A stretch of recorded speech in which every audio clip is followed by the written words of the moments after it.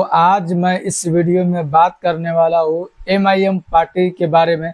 जैसे कि आप यहाँ पर देख सकते हैं कि हिंदू भाई भी एम आई एम पार्टी के लिए कैसे मतलब खुश हो रहे हैं और एक अफवाह उड़ाया जाता है कि एम आई एम पार्टी जो All India Majlis Ittehad Muslimeen party है, जिसके राष्ट्रीय अध्यक्ष बैरिस्टर असदुद्दीन ओवैसी साहब है। उनकी पार्टी सिर्फ़ मुस्लिमों के लिए राजनीति करती है, मुस्लिमों के लिए आवाज़ उठाती है। लेकिन आप देख सकते हैं, हैदराबाद के अंदर जो दारुसलाम उसका हेड क्वार्टर है एम पार्टी का, उसके अंदर देखिए कि यहाँ पर आप देख सकते हैं कि फ्रंट पे एक हिंदू भाई है, जो पार्टी के कार्यकर्ता के हिसाब से काम करते हैं। जो 2024 इलेक्शन में जब रिज़ल्ट आया तो असदुद्दीन ओवैसी साहब को जब जीत का ऐलान हुआ तो यहाँ पर दारुसलाम में देख सकते हैं कि कितने लोग, गैर मुस्लिम जो हिंदू भाई है, वो कितने अपने गले में दुपट्टा इमाम पार्टी का जो दुपट्टा है, वो डालकर हेड क्वार्टर पहुँचे हुए हैं और खुशी का इजहार यहाँ पर कैसे कर रहे हैं। तो जो उन पर एक धब्बा एक लगता है, जैसे कि आप बोल सकते हैं कि वो बीजेपी की ए टीम है बी टीम है, पता ना क्या क्या बोला जाता है और सिर्फ़ वो मुस्लिमों की राजनीति करते हैं, सिर्फ़ वो मुस्लिम उनको ओढ़ देते, लेकिन यहाँ पर देख सकते हैं कि तिलकधारी हाथ में पहने हुए हैं।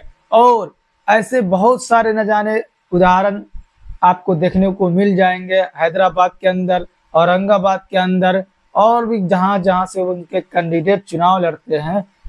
पूरे भरपूर सपोर्ट हिंदू भाई भी करते हैं, लेकिन ये अफवाह उड़ाया जाता है कि सिर्फ़ मुस्लिमों की राजनीति करते हैं तुष्टिकरण करते हैं और अवैसी साहब। लेकिन ऐसी कोई बात नहीं है आप यहाँ पर देख सकते हैं कि हर समाज के लोग असदुद्दीन ओवैसी साहब के साथ हमेशा खड़े रहते हैं। इसलिए वो लगातार पांचवी बार संसद के अंदर पहुँचने का काम किए हैं और सबको लेकर चलने का काम करते हैं। लोकसभा अपने क्षेत्र के अंदर, हैदराबाद के अंदर। तो इसलिए जितने भी समाज के लोग हो, चाहे वो अपर कास्ट के हो लोअर कास्ट के हो या हिंदू हो, मुस्लिम हो, सबको वो लेकर चलने का काम करते हैं, जिसका जीता जागता उदाहरण आपके साथ है और आप इस वीडियो में देख सकते हैं। बहुत से लोगों को शंका होती रहती है कि हाँ यहाँ सही में ये सिर्फ़ मुस्लिमों की राजनीति करते हैं, लेकिन ऐसा कुछ नहीं है। आप इस वीडियो में देख सकते हैं कि मुस्लिमों की राजनीति अगर करते तो सिर्फ़ यहाँ पर मुस्लिम उनके समर्थन में देखने को मिलते। लेकिन हैदराबाद के अंदर आप देखते होंगे कि हिंदू, मुस्लिम सब बढ़ चढ़कर हिस्सा लेने के काम करते हैं। बैरिस्टर असदुद्दीन ओवैसी साहब के हर काम में चुनाव प्रचार उसी तरीके से आप लोगों ने देखा होगा कि सब उनके साथ मिलकर रहते थे। दारुसलाम में हर समाज के लोग अपने समस्या को लेकर जाते हैं। तो इसी तरीके से वो सब समाज से जुड़ कर रहने का काम करते, लेकिन उन पे धब्बा एक लगाया जाता है, वो कहीं ना कहीं गलत साबित होता हुआ नज़र आ रहा है। इस वीडियो के माध्यम से बजाता गले में आप देख सकते हैं कि एमआईएम का जो दुपट, ये होता है, दुपट्टा जिसको बोलते हैं, गमछा बोलते हैं, वो डालकर और दारुसलाम के अंदर हेड क्वार्टर जो दारुसलाम जो फ़ेमस है, हैदराबाद के अंदर, उसके अंदर काफ़ी ना जाने इस, ऐसे गैर मुस्लिम हमारे कितने भाई है जो इसके अंदर खुशी मनाने के लिए आए हैं। असद साहब को जीत को लेकर के, असद साहब को जीत की बधाई देने के लिए।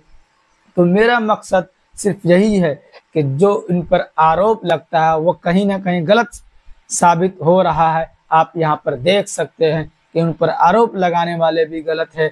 वो मुस्लिमों की राजनीति नहीं करते, वो उनकी राजनीति करते हैं जिन पर जुल्म होता है और जिनकी आवाज़ सब नेता नहीं उठा पाते और सबको कहीं ना कहीं उनको फ़िक्र होती है कि हम अगर इस समाज की आवाज़ उठाएँगे तो हमारा वोट बैंक जो हमसे खिसक सकती है।